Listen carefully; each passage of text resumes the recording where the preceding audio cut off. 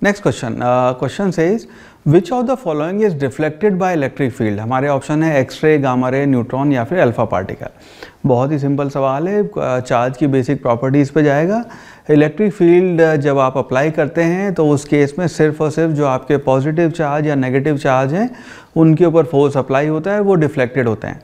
सो उस बेसिस पे हम कह सकते हैं कि alpha particle would be the right answer because if आपकी एक्स रे गामा रे और neutrons they are all neutral photons या फिर न्यूट्रल पार्टिकल्स हैं।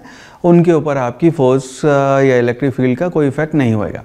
So option number D alpha particle would be the correct choice here